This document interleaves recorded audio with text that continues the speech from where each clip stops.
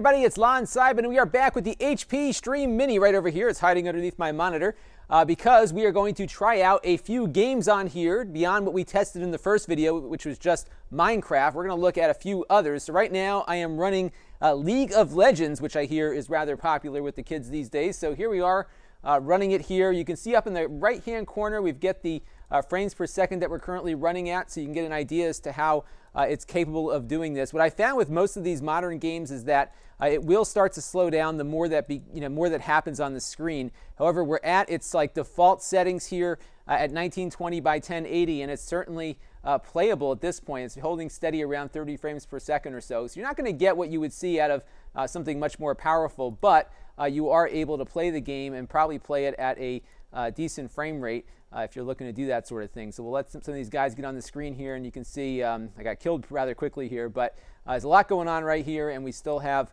a good amount of, uh, of uh, frame rate here to play with. So not bad. In fact, I think uh, if you're looking to play this game, um, this will probably uh, function pretty well on the Stream Mini. So League of Legends, I would say definitely give it a shot. We can always turn settings down too if we needed to get better performance out of it. But let's see how it performs with something else like Counter-Strike Go. All right, here we are running Counter-Strike Global Offensive, and I wanted to see what the best possible resolution I could get at the highest setting. So this is it here running at 720p. So if you look in the upper left-hand corner, uh, you can see the frame rate. Unfortunately, the way my video system works here, I can't really see uh, the uh, frame rate while I'm recording here because it's kind of cut off by my monitor. But you can get a sense as to, you know, if you really want to crank the settings up, 720p is about where you're going to be. Not the most consistent frame rate. You can adjust, of course, the resolution and uh, the individual settings to get better performance out of it. But this, I think, really gives you an idea of what the system's capabilities are as far as uh, its overall frame rate is concerned. So uh, you can get a feel for what its capabilities are. It's a pretty decent little computer. It's, you know, again, it's mostly all contained on the processor. So this is using the internal uh, Intel graphics that uh, come on board the, uh, the Haswell chipset. So this is pretty much what you'll, uh, probably the best you'll see as far as high settings and frame rates concerned uh, with uh, the uh, Counter-Strike Global Offensive here. So that is how that works. And now we're going to move on to a little bit of emulation with a GameCube emulator.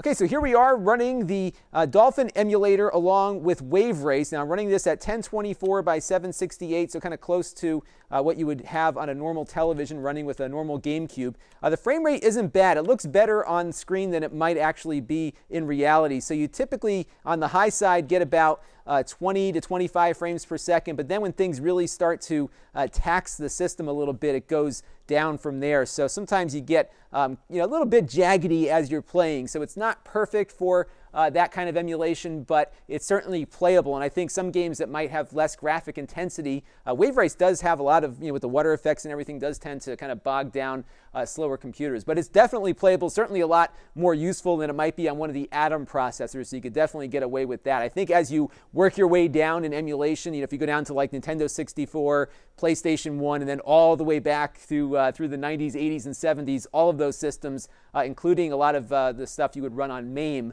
uh, should work fine. So this is probably a really good choice for a retro emulator. I would probably say the cutoff point uh, would be at the end of the uh, the 32-bit era. You know, you probably won't see as uh, good a performance out of PlayStation 2 emulators and uh, the Dolphin emulator as you saw here. One last thing to try, and that is Steam in-home streaming.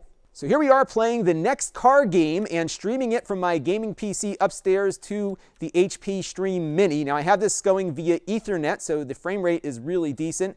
Uh, we've got a pretty powerful gaming machine upstairs that is driving all of this as well. Uh, it does have Wi-Fi on board, but uh, the, uh, the Wi-Fi is not AC, so you may or may not have a good wi wireless experience with this. So I always recommend, especially for this kind of activity, using Ethernet, and that would be uh, what Valve, the makers of Steam, would recommend also. But as you can see, things are running great. And I think you can get an idea now uh, when you look at kind of the, the big picture on this device, uh, what you can do with it. So I think it certainly can do, uh, you know, League of Legends and Minecraft as we've seen. I can certainly play, you know, games that might tax the hardware a little bit more if you turn down a lot of the settings and kind of tweak everything. Uh, and it's also great for retro emulation. I would say, you know, you could certainly get the GameCube and the PS2 kind of stuff to run on it, but I think it's probably uh, the sweet spot is going to be from like the PlayStation 1 to the mid 90s uh, back through the 80s and 70s for arcade and console games. And you can kind of get a feel for what you can do with this? I mean, this is really like the ultimate little home theater PC. $179, full version of Windows installed.